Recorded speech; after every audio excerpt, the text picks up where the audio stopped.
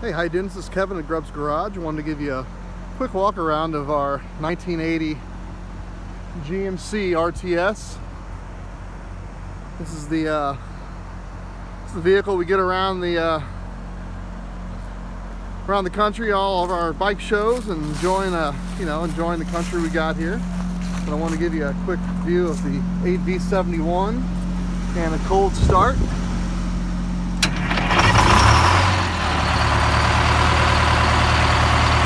Takes. Just little those little buttons here.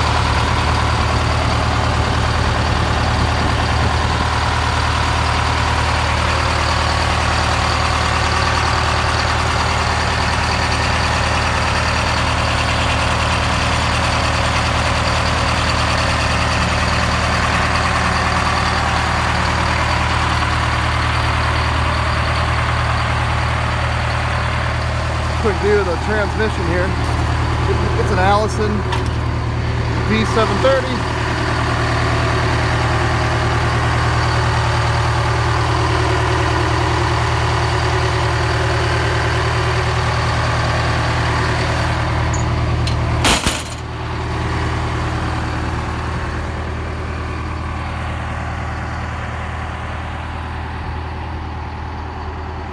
Big Jimmy's uh, that's what we call them. It's a 40 foot by 112 RTS. It's a former Philadelphia city bus. And uh, we took the time to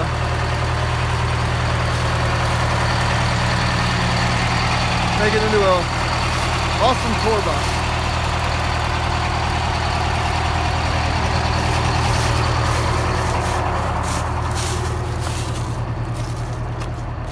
Got lower cabinets, compartments that house uh, things from inverters to uh, boxes, um, you know, for the fuse boxes and tanks and etc.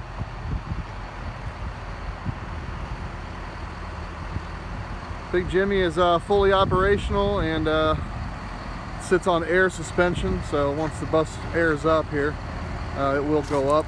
It goes up about nine inches so on the average and uh, it's pretty neat. It actually drives like a Cadillac when on the highway. If you're not intimidated by something big like this to drive, it's uh, it could be a lot of fun. So anyway, I just wanted to show you a quick startup video of the uh, 8V71 Detroit diesel RTS bus.